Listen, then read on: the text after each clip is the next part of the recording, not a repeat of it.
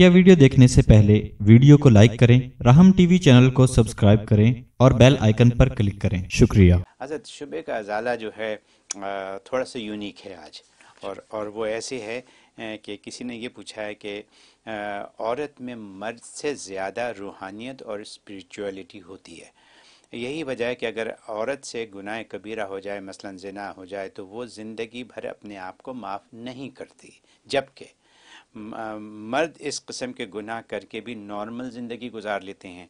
तो फिर अल्लाह ताला ने कोई औरत नबी बनाकर क्यों ना भेजी? तमाम नबी मर्दों को बना दिया। सारे मर्द नबी बनकर आ गए। ऐसा क्यों है? अल्लाह। अच्छा नुकता उठाया। हाँ बड़ा सही बात। सीरियस बात है ये। बहुत। पहली बात तो यह है कि अल्लाह की मर्ज़ी।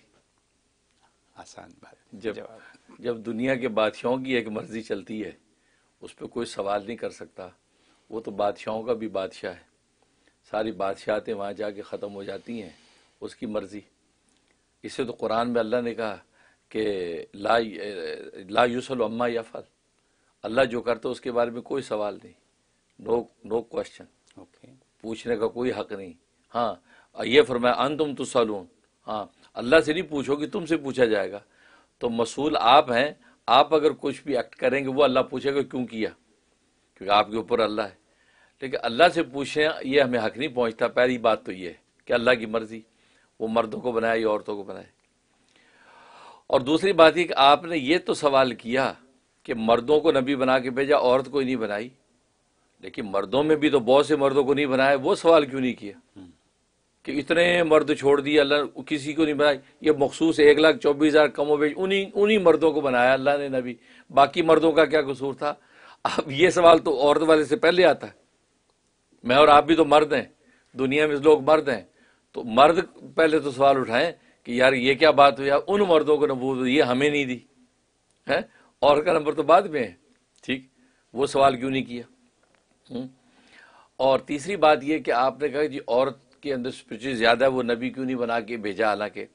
तो पहली बात यह कि ये देखना है कि इसका ताल्लुक स्पिरिचुअलिटी के साथ है, नबूवत का, या किसी और चीज़ के साथ है? क्योंकि स्पिरिचुअलिटी के साथ ही हो तो मर्दों में से बहुत से मर्द ऐसे हैं जिसमें स्पिरिचुअलिटी बहुत होती है। हैं? बहुत स्पिरिचुअलिटी है। यहाँ तक कि जनाब वो कुतुब और अबदाल तक भी बन जाते हैं। हैं? और गौ से आज़म भी बन जाते हैं। नबी फिर भी नहीं बन पाते। सिद्दीकीन का मुकाम भी हासिल कर लेते स्पिरिचुअलिटी की वजह से। लेकिन नबी फिर भी नहीं बन, पाते। तो ये आपको देखना है कि क्या नबूवत मिलने का मदार स्पिरिचुअलिटी है या नहीं? तो जवाब ये करें स्पिरिचुअलिटी इसका मदार ही नहीं है। भले औरत में जितनी ज़्यादा स्पिरिचुअलिटी हो राबिया बसरिया बन गई हो राबिया अदविया बन गई हो हैं? लेकिन नबूवत मिलना ये उसकी बेस ही नहीं है। अगर बेस हो तो फिर तो अ, कितने मर्दों में विलायत मार्फत के इमाम पढ़े। तो इसका मतलब है कि स्पिरिचुअलिटी इसकी बेस नहीं है। नबूवत की बेस असल में इस्तीफ़ा है, अल्लाह का इंतखाब। वो देखता है किसको चुनना है, बस दैसी ख़त्म बात। अब वो उसका काम है, वो मराते नबूवत तय करके उसको उस मुकाम पे पहुंचाता है। इसका इससे इंसान के अपने कसब से ताल्लुक ही नहीं है। इसका ताल्लुक वहब के साथ है, यानी वह भी तौर पर अल्लाह अता करते हैं। वो इंतखाब करते हैं जिसको चाहे इससे तो कुरान में भी कहा अल्लाह जानता है कि मुझे किसको नबी बनाना है। मुझे कहाँ नबूवत उतारनी है अल्लाह जानता है तुम लोगों का काम नहीं है। दुरुस्त। ये बात। और तीसरी बात यह है कि असल में इस्लाम में जो अदल इंसाफ है ना बैलेंस ये इस्लाम का कमाल है। अब देखो छोटी सी मिसाल है ना कि तलाक का इख्तियार अल्लाह ने मर्द को दिया है। हुँ? तो लोग कहते यह तलाक का मर्द को दिया औरत को क्यों नहीं दिया? वो समझते शायद इस्लाम ने जुल्म किया। नहीं, इस्लाम ने हालाँकि अदल किया होता है, क्योंकि निकाह के इख्तियार औरत को देता है इस्लाम। क्योंकि पहले, उसके दरवाजे पे जाता है ना, इस्लाम कहता है, पूछो, आप निकाह के लिए राज़ी हैं? वो कहे, मैं राज़ी नहीं हूँ। तो बादशाह भी लौट जाएँगे दरवाजों से। कोई नहीं निकाह होगा। शहजादों के रिश्ते रद्द हो जाएँगे। औरत को ये एजाज दिया, आप वो कहे, जी, मैं राज़ी हूँ। तो निकाह का इख्तियार औरत को दिया, तलाक मर्द को दिया तो बैलेंस कर दिया ना। इंसाफ कर दिया। ठीक है ना? तो उसमें कोई शिकाल नहीं। लेकिन सती जैन का आदमी फ़ौरन कहेगा वो यार, तलाक का हक मर्द को दे दिया औरत को क्यों नहीं दिया? लेकिन गहरी नज़र का आदमी कहेगा, नहीं भाई, इसमें निकाह, जिसमें जोड़ है, जिसमें फजीलत है, वो मुकाम अल्लाह ने औरत को अता किया। जिस पे तोड़ है, इंतशार वो मर्द के पल्ले डाल दिया। तो इसमें तो मर्द को इश्काल होना चाहिए कि यार, आपने मुझे नेगेटिव साइड में डाल दिया, औरत को आपने एजाज वाली साइड में डाला, है? तो बिल्कुल इसी तरीके से यहाँ पर भी नबूत के मामले भी अल्लाह ने ये अदल इंसाफ का एतबार किया। क्यों?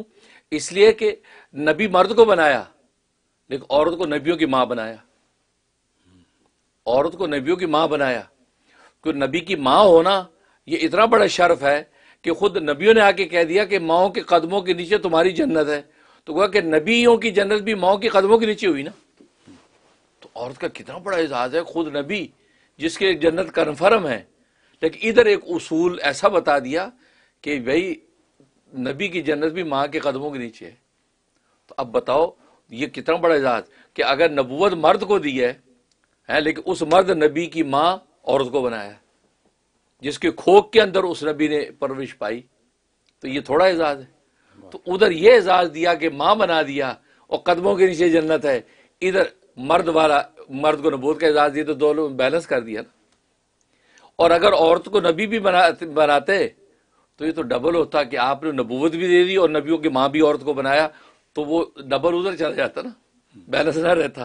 तो ये इस्लाम की ये बारीकियाँ हैं, जिसको समझने की ज़रूरत होती है कि इस्लाम की तरह बैलेंस लेके चलता है। इवन हज़रत मूसा सलाम जैसा पैगंबर जो अल्लाह का खलील है, बातें करता है, अल्लाह का कलीम है, अल्लाह से बातें करता है जब तक उनकी माँ ज़िंदा थी और ये दुआ लेके जाते थे, अल्लाह से बातें करने जब माँ का इंतकाल हो गया जब मूसा की तो जब ये अल्लाह के हम कलाम होने गए तो अल्लाह ने क्या फरमाया, मूसा, बात सुन, तेरी माँ अब फौत हो गई है, ज़िंदा नहीं है। जब तू मुझसे बातें पहले करने आता था, पीछे वो दुआएँ करती होती थी। है, ताकि तुझसे कोई लफ्जिश ना हो जाए अल्लाह से कलाम करने में। हम्म तो उसकी दुआएँ असर दिखाती थी और तू मुझसे हम कलाम रहता था। अब तेरी माँ की पीछे दुआएँ नहीं है। अब जो तू मुझसे हम कलाम होगा, ये खुद अपनी ज़िम्मेदारी पे होगा। तो मालूम हुआ कि माँ की दुआ का असर नबी को भी पहुँचता है। तो औरत को तो इतना ऊँचा मुकाम दे दिया कि उसको माँ बना के उसकी दुआ का असर मूसा करीमुल्ला को फ़ायदा पहुँच रहा अल्लाह कह रहे कि संभल के बात करना, अब तेरी माँ के पीछे दुआएँ नहीं है। जो बोलेगा तो अपनी तेरी कंधों पर उसकी ज़िम्मेदारी पीछे नहीं है, वरना पीछे माँ की दुआ से हम बहुत कुछ माफ़ कर देते थे। अब बताओ, अब मर्द को जो फजील अपनी जगह पर है, लेकिन माँ होने का मुकाम जो औरत को दिया, उसकी कोई नज़ीर है? लिहाजा ये कहना कि ये नबी नहीं बनाया, अल्लाह के बंदे नबियों की माएँ बनाया। बात ही वहाँ से चलती। और अगली बात यह है कि असल में ये बताइए कि टेक्निकली तख्लीकी दुनिया के अंदर सबसे पहले मर्द आए या औरत आई? ये बात तो दुनिया का हर हर सोसाइटी और कौम मानती है कि पहले मर्द बना। यानी आदम सलाम बने। तो आदम सलाम पैदा हुए उनकी खोग में से आगे औरत पैदा हुई। तो असल कमाल जो किसको नसीब हुआ? मर्द को जो पहले आया। जो पहले आए वो पहले पाए। फ़र्स्ट कम फ़र्स्ट अलफजलमतकदम हदीस फरमाया जो पहले आया वो पहले। तो अलफजलमतकदम पहले आने वाले के लिए फजीलत है। लिहाजा पहले आने वाला मर्द है दुनिया में लिहाजा फजीलत नबूत उसी को नसीब हुई। और औरत तो उसके ताबी हुई। ठीक? इस वजह से जो है औरत को नहीं बनाया। और तीसरी बात यह है कि असल में ये बात कहना कि औरत में स्पिरिचुअली ज़्यादा इस वजह से औरत जो है वो अपने आप को माफ़ नहीं कर पाती। नहीं, इसका ताल्लुक स्पिरिचुअलिटी के साथ नहीं है। इसका स्पिरिचुअलिटी ताल्लुक नहीं, इसका इंसानी साख्त के साथ ताल्लुक है। अल्लाह ने मर्द की जो साख्त आसाब बनाए, वो मज़बूत कवि बनाए। ये बार को बार जो बर्दाश्त कर सकता है। टेंशन को या ऑब्जॉर्व कर सकता है। औरत को सिनफी तौर पे, यानी साख्त के बाद कमज़ोर बनाया है। ये गम, चीज़ें टेंशन बर्दाश्त नहीं कर पाती। इसके ऊपर थोड़ा सा बोझ आ जाए इंटेंशनली या फिजिकली तो ये कमज़ोर है ना मर्द की नस्बत तो गुनाह ज़ाहिर है कि एक अल्लाह की मासीत है, ठीक? अब गुनाह जब हुआ तो मर्द से हुआ तो मर्द तो चूँकि असाबी तौर पर मज़बूत है, वो बहुत चीज़ें ऑब्जॉर्व करते बर्दाश्त कर जाता है। लिहाजा वो गुना हुआ, माफ़ी मांगी, तोबा कर लिया, हेलो, आगे चला। तो वो उसको ज़्यादा, उसका असर नहीं लिया उसने। और चूँकि असाबी साख के साथ कमज़ोर है, जैसे फिजिकली बोझ बर्दाश्त नहीं करती तो इंटेंशनली जब उससे ये हरकत हो गई तो उससे बर्दाश्त नहीं हो रहा। वो जो जो कमज़ोरी है ना, इसकी आसाब की, उस वजह से ये अपने आप को माफ़ नहीं कर पाती। इस वजह से वो इसी उधेड़ बुन में रहती है कि मुझसे ये क्या गलती हो गई, क्योंकि वो बार उससे बर्दाश्त नहीं होता। और ये भी यही भी बुनियाद है कि अल्लाह तबारक वता औरत को तलाक कहा नहीं दिया, क्योंकि टेंशन जो है ना वो बर्दाश्त नहीं करती, वो जल्दी से तलाक दे देगी, घर टूट जाएगा।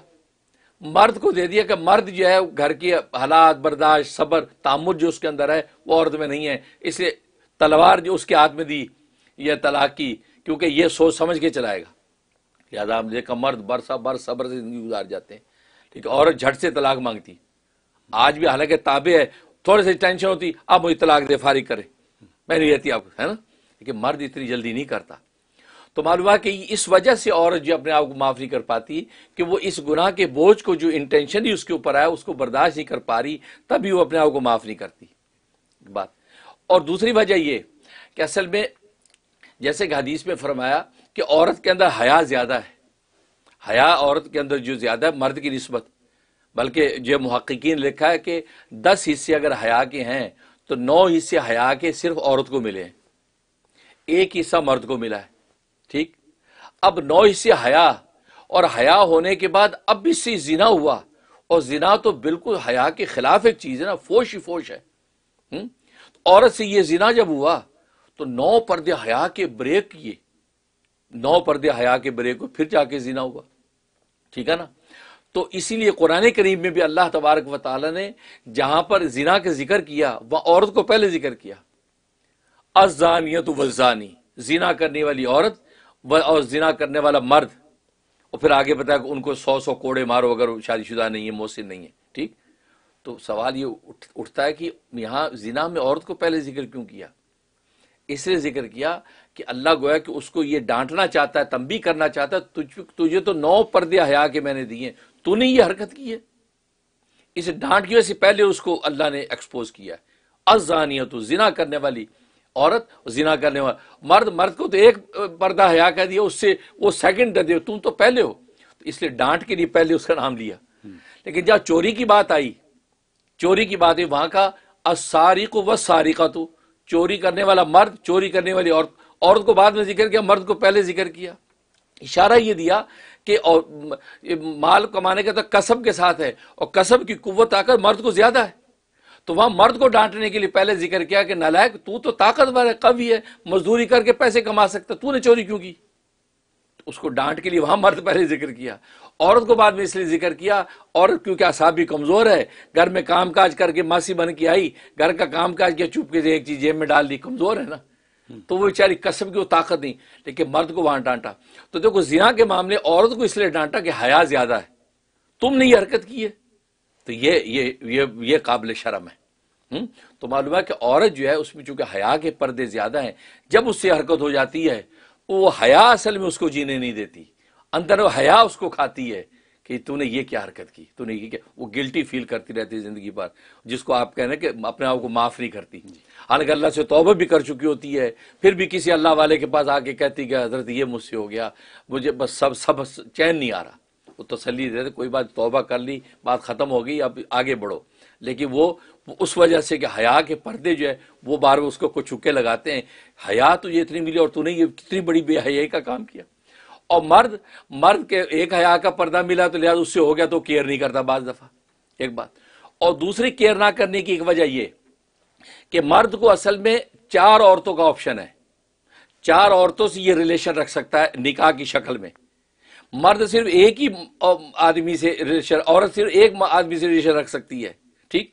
अब वो एक शौर के अलावा की जब किसी और से इन्वॉल्व होती है तो वो जो बाई नेचर अल्लाह ने उसके अंदर रखा ना कि एक ही होकर रहे वो उस उस उसूल को रास्ते को तोड़ा है ना, ये चीज़ उसको जीने नहीं देती।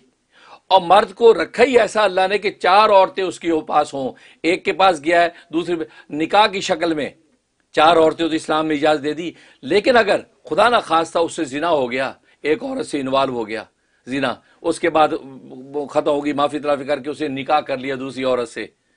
तो वो इसलिए गिल्टी नहीं कि उसको बाई साख तो बाई नेचर अल्लाह ने ऐसा बनाया, वो चार औरतों से ताल्लुकात कायम कर सकता है, लिहाजा उसका बोझ उसकी तबीयत पे फितरी तौर पे नहीं आता।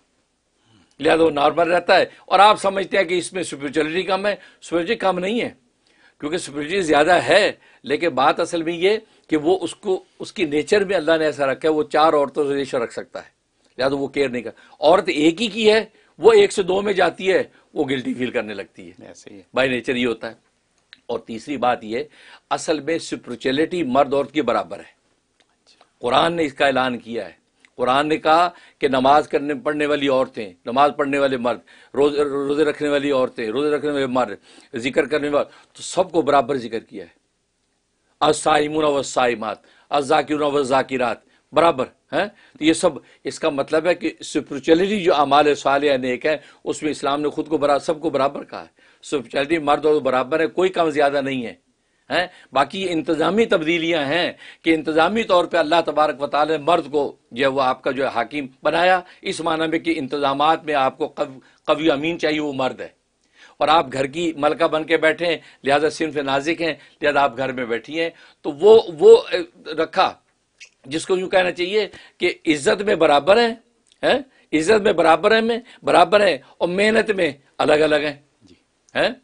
मेहनत में अलग अलग है तो मेहनत इज़्ज़त बराबर है सुपरिटियाँ बराबर हैं लेकिन कसब के अंदर जो है ड्यूटियाँ जिम्मेदारियों में अलग अलग हैं। वो बाहर की ज़िम्मेदारी का जिम्मेदार है ये घर की ज़िम्मेदारी की जिम्मेदार है इसमें कोई फ़र्क नहीं है। तो लिहाजा सिक्योरिटी बराबर भी है और बाकी ये बाकी सारी डिटेल उसकी ये बुनियादें हैं जो मैंने अर्ज़ की। बाकी आपने जो समझा सिक्योरिटी ज़्यादा लिहाजा नमूद मिले वो बेसी नहीं है। लिहाजा आपका शुबा जो है उसकी असलाह की ज़रूरत होगी। बहुत बहुत बहुत बहुत clear understanding very very clear I hope कि जिन्होंने ये शुबा भेजा है उनको पूरी बात समझ आई होगी और ये हम सब के लिए भी।